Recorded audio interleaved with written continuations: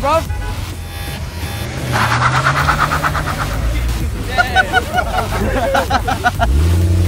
you get so happy when you, you're telling me, no?